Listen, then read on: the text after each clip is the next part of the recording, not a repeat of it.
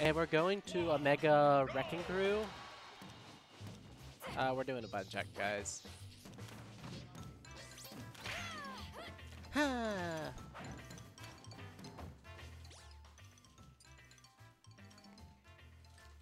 this music is actually quite catchy.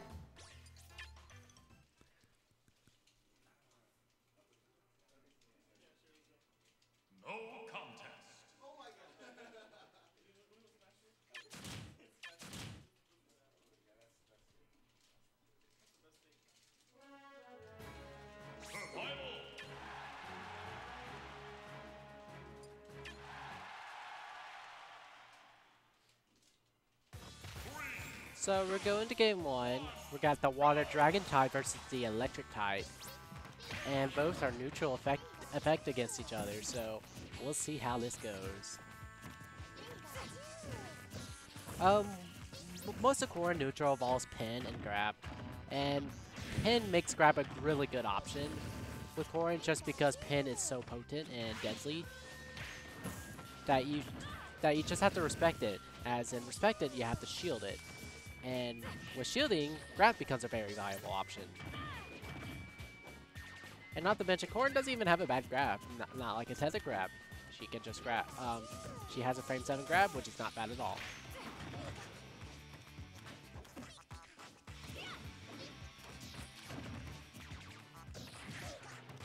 Um, out of shield Nair. Um, Nair is actually frame 12, and that's mainly because Corrin has a frame 6 jump squat, which makes her um, jumps come out one frame slower than most characters. Most characters have five, and certain a good bit of top tiers have four.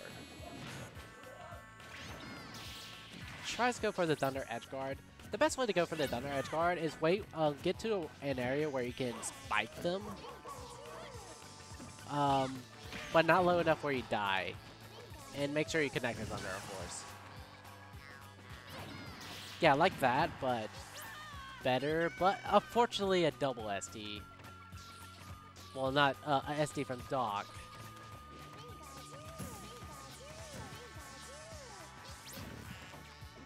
Quick attack catching him off guard. Can't really fall off the down throw.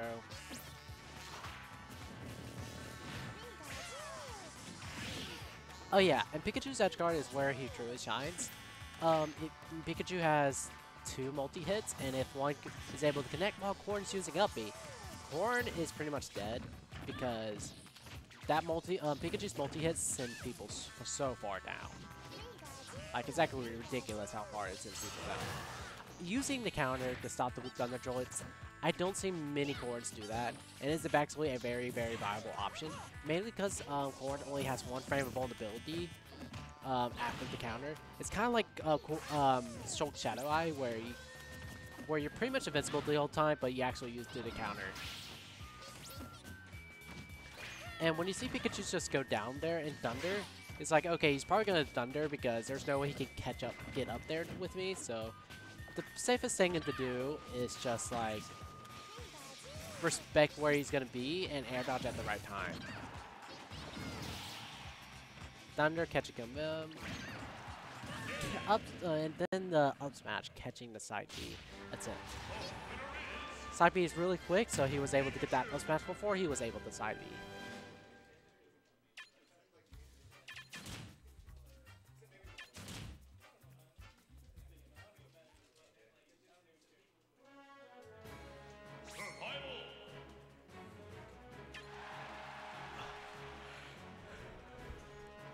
As Corrin, I probably would either go to A, Battlefield. Actually, I would either go to Town City or Battlefield or FD. Preferably Town City in this matchup, but that's up to K or Absolute Zero himself.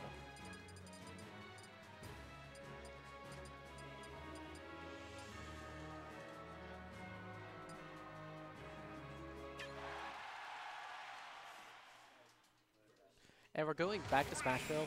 I do respect the option.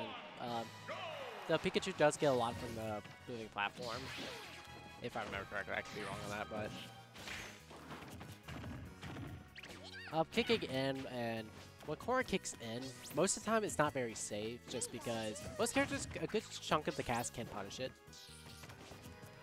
So usually the best thing to do is kick away unless you do pin somebody. Then of course you want to kick in. Because kicking away um,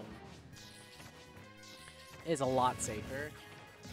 But at the same time, you do lose stage control, so you have to be careful. Unfortunately, was was not he was trying to back air past the um, forward smash, but he was just unable to do that.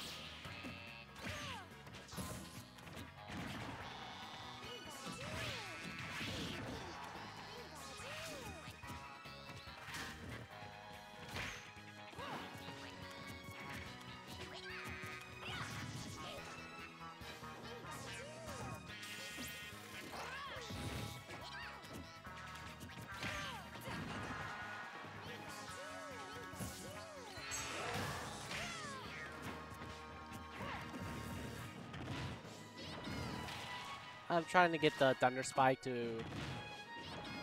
Like uh, that, he's trying to get that. Um, it's a very strong option.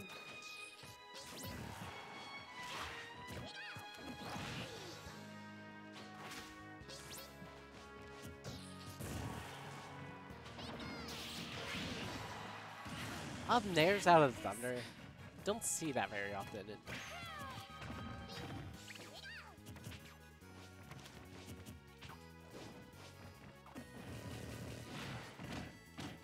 Oh my god, get get into jab block, but he was trying to go for something fancy, but was unable to. I never actually thought about that op that being an option. Forward throw to miss tech to jab block. I never thought of that being a possible option.